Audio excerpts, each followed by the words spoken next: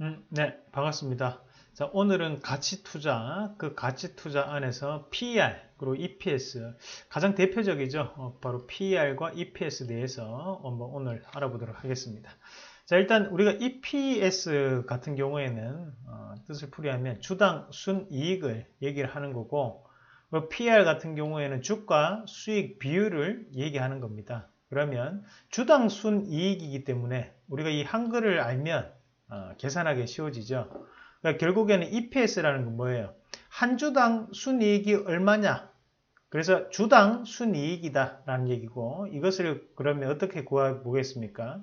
순이익을 어, 주식수로 나누면 주당 순이익이 되겠죠. 그럼 이 주당 순이익이 나왔을 때 어, 그러면 우리가 PR을 계산할 수가 있는데 어, 현재의 주가, 현재 주가에서 한 주당 순이익 뭐예요 이게? 바로 EPS죠. 어, 주가에서 EPS를 나누면 그게 바로 어, 주가 수익 비율 PR이 된다는 것까지 알고 계시면 되겠습니다. 자, 그럼 거기에서 이제 적정 가치라고 하는 것을 우리가 적정 주가라고 하는데요. 어, 주당 순이익 바로 EPS 곱하기 어, 우리가 업종 PR 그러면 뭐 유통업종 같은 경우에는 높겠죠. 대신 제조업 같은 경우에는 업종 PR이 낮습니다. 그런 식으로 업종에 대한 PR이 있는데 그 PR, PR 자체를 곱하기를 하면 우리가 적정 가치가 된다는 것까지 알고 계시면 되겠습니다. 자, 예를 들어서 한 가지 설명을 해드린다면 뭐 코엘 패션이라는 기업이 있고 거기에 대해서 지금 어, 이런 EPS 그리고 뭐 PR이 있죠. 그럼 여기에 대해서 우리가 계산을 한번 해본다면 자, 일단은 뭐 지금 EPS가 얼마입니까? 555. 자, 그럼 거기에 어, PR이 얼마예요? PR이 8.5. 자, 그러면 적정 주가 현재 이 아, 추정 요게 뭐예요? 그러면 요게 유통업종이기 때문에 유통업종 평균 PR이 18배 정도 되죠. 그러면 여기에 9,990원. 이 9,990원 정도가 적정 주가다. 하지만 지금은 어, 이 기업 자체가 8.5배이기 때문에 어, 아직까지도 추가적인 상승이 가능하다 이렇게 판단을 하는 것을 우리가 PR 밴드를 통한 매매 방법이라고 얘기를 합니다. 아, 그래서 그런 부분까지 기억을 하실 필요가 있겠고요.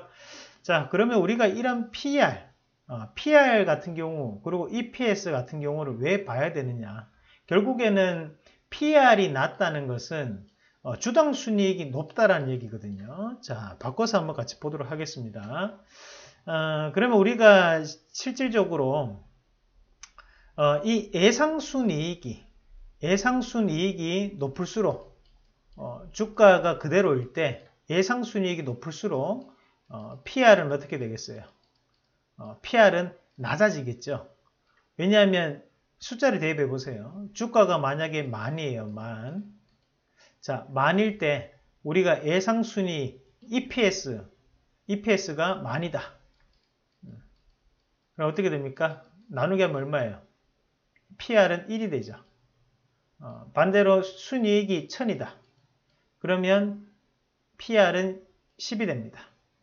이렇게 PR이 낮으면 낮을수록 우리가 아, 예상 순이익이 높게 형성됐다라고 판단할 수 있고 어, 그리고 PR 가치 자체가 높을수록 아, 예상 순이익이 낮게 측정되어 있구나 이렇게 어, 알 수가 있겠습니다. 자, 그럼 뒤에 문제를 풀어보면서 우리가 어, 좀더 내용을 정리를 해보도록 하겠습니다. 자, EPS에 대한 증가율이 클수록 주가 상승률이 높다 또는 낮다. 답은 뭘까라는 거죠. 앞서서 말씀드렸죠. 순이익이 커지면 커질수록 어, 당연히 PR 가치가 어, 낮아지는 거기 때문에 그러면 주가에 대한 상승률은 높아져야겠죠. 자, 그러면 우리가 높다라는 것을 동굴바람이 칠 수 있겠고요. 자, 다시 한번 예를 들어 보겠습니다. 자, 코엘 패션이라는 기업이 있어요. 그럼 여기에서 EPS가 어때요? 꾸준히 성장하고 있었죠. 그러면 음, EPS가 성장한다는 것은 PR이 점점점 어떻게 됩니까? 내려가고 있다는 얘기잖아요. 그럼 주가는 반대로 어떻게 움직였나요? 아, 이렇게 꾸준하게 상승을 해왔다는 거죠.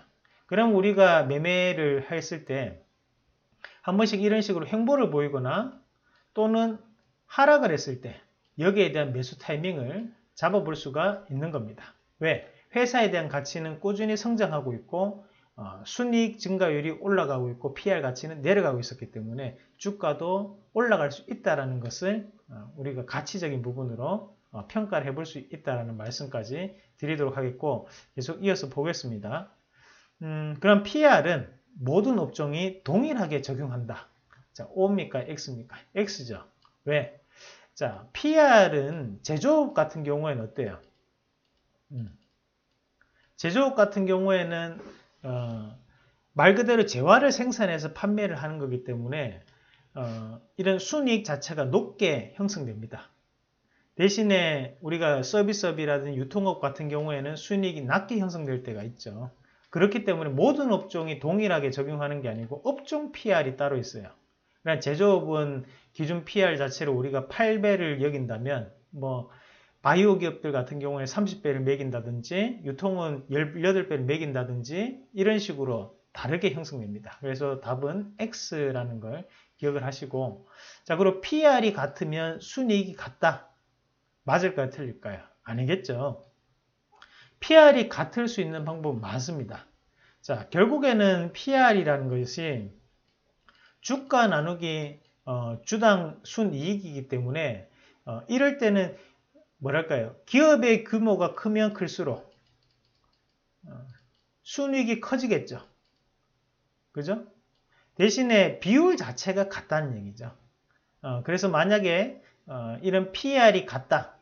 같을 때 어, 기업이 큰 기업을 선택할 것이냐, 작은 기업을 선택할 것이냐. PR은 같지만 큰 기업이 주당 순이익이 훨씬 더 높게 형성되어 있겠죠. 왜냐하면 그만큼 순이익이 높기 때문에 높게 형성된다는 얘기입니다. 그래서 PR이 같다고 해서 순이익이 같지는 않다라는 것까지 기억을 하시길 바라겠습니다. 사실 우리가 주식을 하시면서 PR이나 EPS를 가장 많이 쓰시는 분들도 많으십니다. 그만큼 상당히 중요한 내용이기 때문에 여러분들이 기초를 확실하게 탄탄하게 어, 잡아가시는 전략이 가장 중요하다는 말씀까지 함께 드리도록 하겠습니다.